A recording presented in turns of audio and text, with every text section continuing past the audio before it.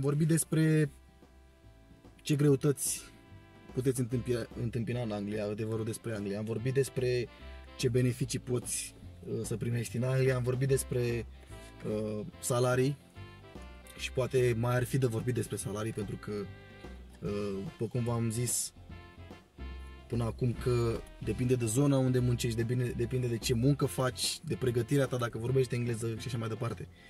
Dar nu am vorbit despre cheltuieli. Uh, pot să mă dau exemplu pe mine ca să vă faceți o idee cam cât uh, pot să cheltui în Anglia. O să separ uh, lucrurile ca să uh, înțelegeți mai, mai bine uh, ce înseamnă să vii singur în Anglia și să te întreții singur, să uh, plătești chirie singur, să fii singur cu chiosdan în spate sau ce ar însemna să fii uh, o familie, două persoane sau și cu copii. Și atunci o să încep cu uh, chiria. Să zicem uh, pentru început că uh, nu vii în Londra sau în orașele mari, Manchester uh, sau eu știu ce orașe mari unde chiriile sunt foarte mari. Cel puțin în Londra, cam uh, toată lumea știe că în Londra uh, chiria și plățile cred că sunt, sunt, la, sunt aproape duble față de uh, alte orașe. De exemplu, în orașul ăsta în care locuiesc eu, în Lincoln, este un orășel mai mic, dar ai tot ce vrei, uh, nu este chiar foarte mic și găsești tot ce vrei. Uh, pentru început, să zic, când am venit singur, am plătit uh, undeva la 50 de lire pe săptămână, dar într-un share house. Adică share house ce înseamnă? Poți să stai într-o casă cu mai multe camere sau poți să stai chiar și în cameră cu alte persoane și să plătești banii ăștia. Deci mai puțin de 50 de lire, hai să zicem, depinde acum și de ce găsești. S-ar putea să găsești uh, printr-o agenție mai scump sau să găsești direct la proprietar. Acum depinde, dar ca să faceți o idee, uh, chiriile cam pleacă de la 50 de lire de persoană uh, într-un share house. Acum partea a doua ar fi uh, ce faci în cazul în care vii cu familia, ai niște bani uh, și îți permiți. Uh, hai să zicem că vii și vrei să-ți iei uh, o garsonieră. În Anglia garsonieră înseamnă flat, așa se numește, adică o cameră uh, și în afară de camera ai tu baia ta, ai bucătăria ta, nu e nimic la comun. Uh, în cazul meu, că de-abia uh, m-am uh, mutat singur într-un uh, astfel de flat, într-o garsonieră, uh, este la casă și în banii care plătesc eu 500 pe lună, este inclus și garaj, și baia este mare, bucătăria este mare, toate camerele, deci totul este uh, de ajuns. Nu pot să mă plâng. Dar am stat și, v-am zis, și în share house cu uh, mai mulți în casă în care trebuia să împarți baia, bucătăria, mă rog, toată lumea este obișnuită cu chestia asta, nu este ceva uh, de care să fugi, că nu poți să stai cu nimeni în casă. Dacă nu poți, îți iei singur, dar v-am zis, crește un pic uh, uh, chiria. Pentru că atunci când te duci la agenție, păi, păi uh, tu o să iei, de exemplu, dacă e o cameră, eu o să întrebe câte persoane stai. Dacă stai familie, nu ți ia uh, pe camera aceiași bani. Adică în, în, poți să plătești singur 200 într-un share house, într-o cameră, sau dacă ești cu soția, plătești 400. Cam atât am plătit eu în, într-un oraș ca Lincoln. Dar în Londra ajungi pe undeva pe la 800, 700, 800 acum Cine stă în Londra poate să intervină și să lase comentarii. Uh, pe lângă chirie, că sunt, ca, sunt case care, uh, sau să zic agenții prin care ți casă, care, uh, în care ai inclus electricitate, gaz, apă, chiar și internet. Deci poți să plătești 400 pe lună o familie și să ai toate astea incluse. Doar că ai la comun baia și bucătăria, să zicem. Uh-huh. Să zicem că e 300 de lire pe săptămână uh, poți să iei și mai mult și mai puțin. Acum depinde, v-am zis, în celelalte uh, uh, firmulețe legate de agenții, ce noroc ai, vorbește engleză, ai mașină, nu mai intru în detalii. Intrați acolo dacă vreți mai multe detalii și nu le-ați văzut. Dar să zicem că iei pe undeva pe la vreo 300 de uh, lire pe săptămână și soția tot cam așa dacă uh, aveți noroc, aveți transport și așa mai departe cu, cum v-am mai zis. Chiar și 200 dacă ia uh, soția pe săptămână și tu 300, vă dați seama sunt 500 pe, pe săptămână care intră în casă, adică vreo 2000. Și de aici scade chiria. Dacă vă luați, cum v-am mai spus, Vlad, vreți condiții mai bune, o să vă coste uh, mai mult de 400 aia sau 500, o să vă coste uh, numai chiria 500 plus uh, con, consil tax care trebuie plătită un an de zile dacă nu mă înșel. După ce ai închiriat casa, trebuie plătită, asta e o taxă la primărie, care vine undeva la vreo 150 pe casa aia. După care gazul și cu electricitatea vin împreună. Aici depinde de cât consumați, bineînțeles, vă dați seama, dar vă fac așa o medie cam cât consum eu. Eu zic că undeva la vreo 70 de lire. Uh, și nu pot să spun că strâng curea, o folosesc normal, nu mă gândesc să fac economie sau ceva, dar am auzit și cazuri și uh, care folosesc pe cartelă, adică uh, bagă pe cartelă de câți bani vrea să Uh, folosească, să zicem, gazul și când se termină banii pe cartelă, trebuie să ducă să încarce din nou cartela. Nu, nu am plătit niciodată, nu am stat niciodată într-o casă cu, cu cartelă, nu știu cum e, dar am auzit de ele. Probabil că sunt mai, mai bune. Uh, ar mai fi apa care vine la 3 luni, uh, undeva la 100-150 de lire, v-am zis, la fel. Depinde câte dușuri faci acasă, cât sunteți în casă, Uh, la noi vine undeva la 105, ceva la, de genul la vreo 150, cu mașina de spălat și cu dușuri și cu totul, cam, cam acolo te duce la vreo 3 luni de zile.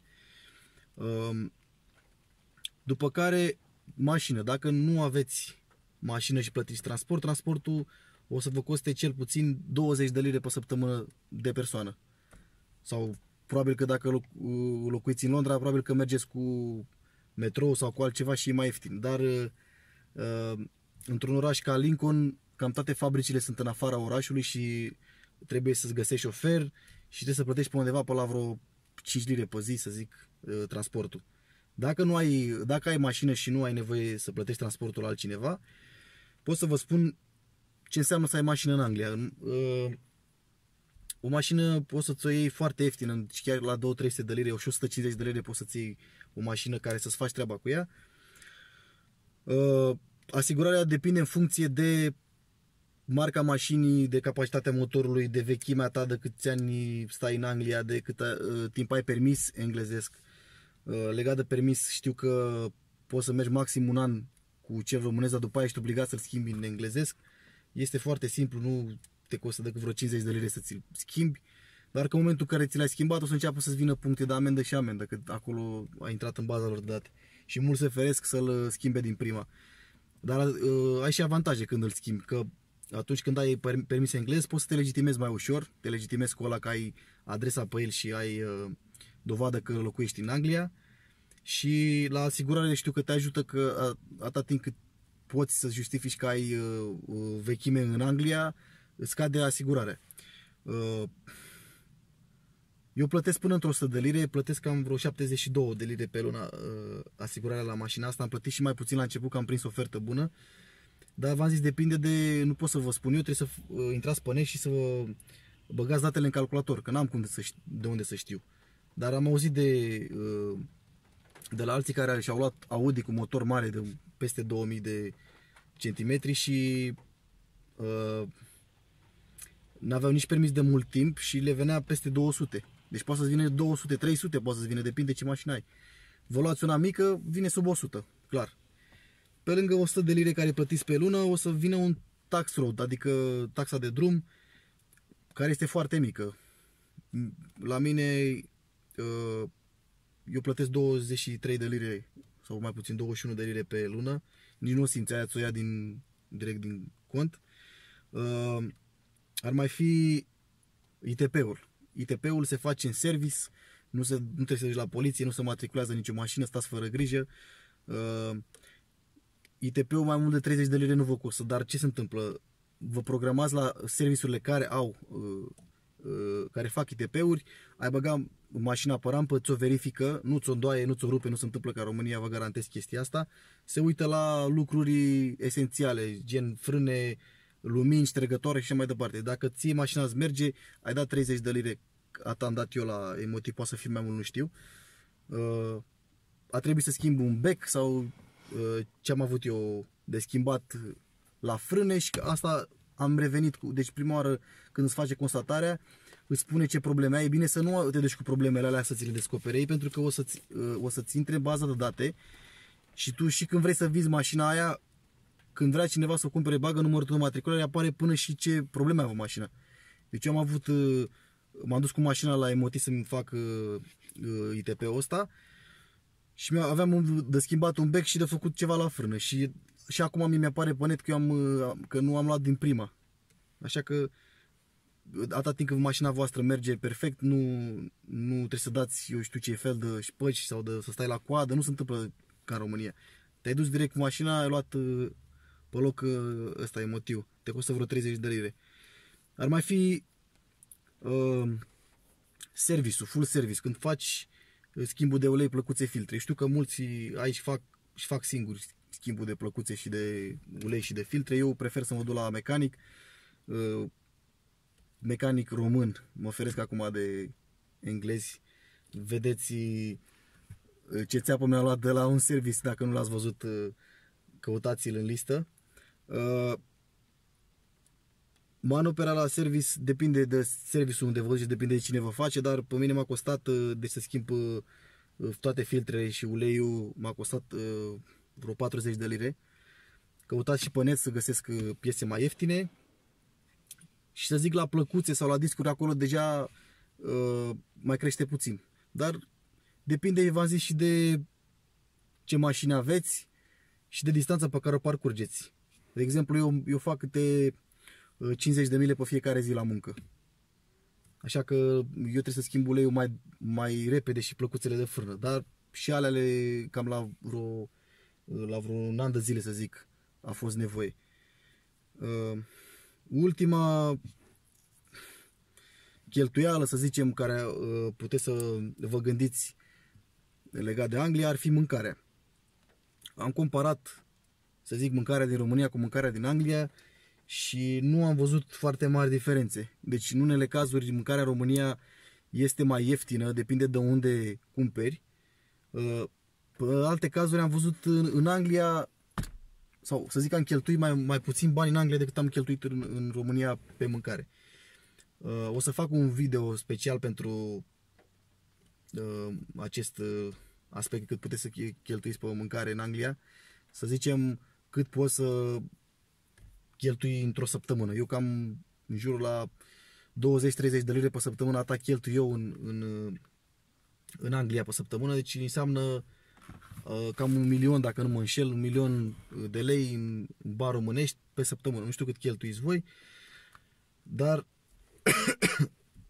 noi două persoane și nu vreau să zic că mi-au de la gură sau că nu mai ies în weekend, mănânc și altceva, nu mănânc, uh, încerc să mănânc cât mai curat, cât uh, mai fresh, să mănânc să țin și să, să mănânc sănătos, să țin dietă și Uh, cam, cam la, la banii ăștia mai eu 20-30 de lire pe săptămână. Să vedem cât am putut eu să cumpăr cu un milion, ce alimente, cam cât costă și...